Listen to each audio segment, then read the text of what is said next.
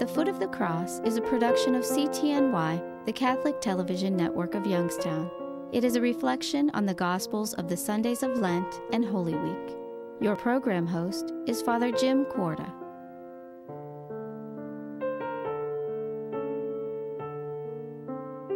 Today's gospel for this Tuesday of Holy Week is about two men who each made a terrible mess of things.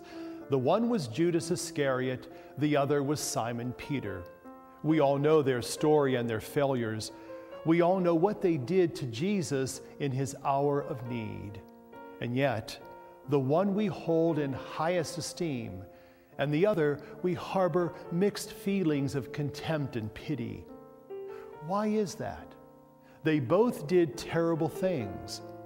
One denied him in his hour of greatest need, and the other betrayed him to his enemies.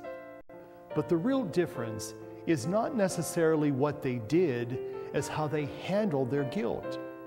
The same is true for us. How do we handle our guilt in light of the Lord's cross? Judas, for example, chose to wallow in it, and floundering in his guilt, he chose to end his life by hanging himself. First of all, that is utterly fruitless. Taking one's own life to the healthy mind accomplishes nothing.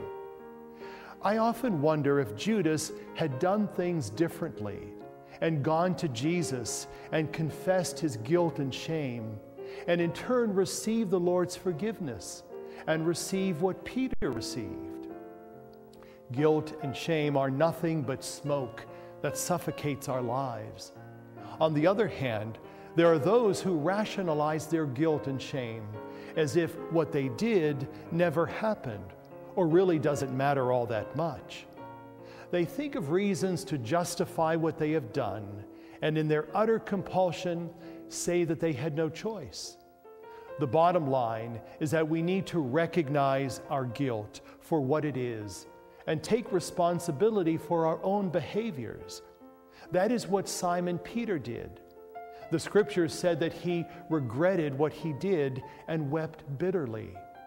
We know that he asked forgiveness, made restitution, and resolved to move on and ahead and align his life with that of Christ's. As we stand at the foot of the cross, may we lead happy, useful lives and face our guilt openly and honestly.